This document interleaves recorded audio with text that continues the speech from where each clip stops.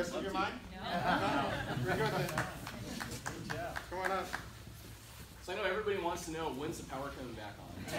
and uh, so my, my name is Jeff Randall. I'm the commissioner. We have three commissioners for Jefferson PUD. I represent uh, District 1, which is Port Townsend, though you all get to vote for us. And uh, today we had some high winds last night, and our local transmission lines have some trees down on them, and our crews are out working, and they're trying to find all the trees and get those uh, removed so we can get this power system up. But I guess what I see here is we're surrounded by a renewable resource. We got all this stuff sitting here, which is what PUD's business is based on, and sunshine and water make this work. And here we are in the northwest, in a sunny day. We've got sunshine up there, so we got another renewable resource that can power solar panels. And my background, I was like Hans, I was a solar installer working for another solar company in this county, Power Trip Energy. And we're really blessed that we have sunshine, we have apparently lots of people interested in solar power. How many people are here because they love solar power? I'm just kind of curious. How many are here because they love Edensaw? I mean, why are you guys here today? All right. So um, we're blessed because people in this community and in this county want, believe in solar power and want to invest in it. And I want to thank Kiwi and everybody else involved in Edensaw who've made that significant investment.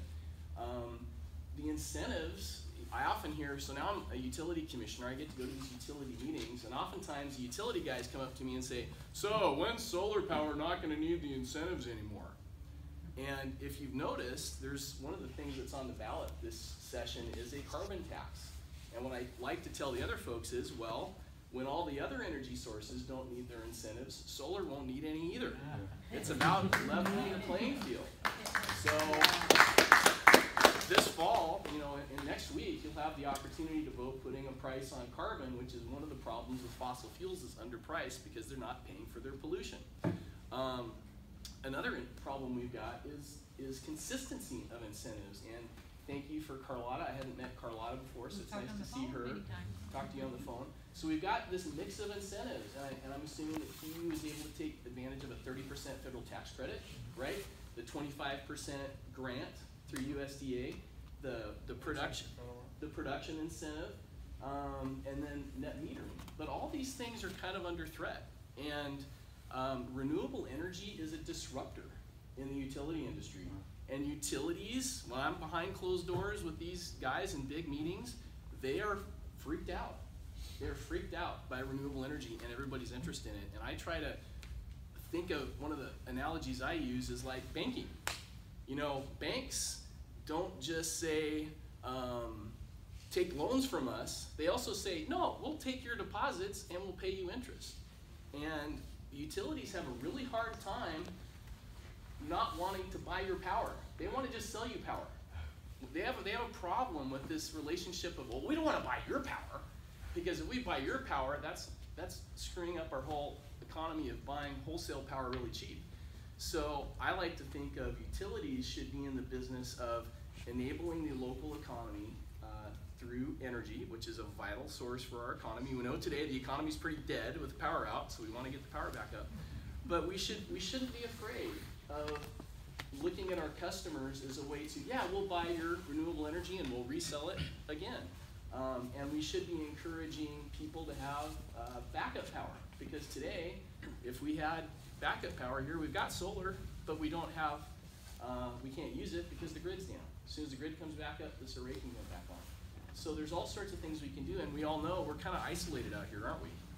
We get an earthquake, we get landslides, things like just trees coming down can interrupt our power. So there's all sorts of technological changes that are happening that allow us to do backup power.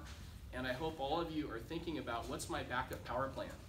Because power outages can't happen. What's my backup power plan in my home so I have food and water and I'm, I'm safe?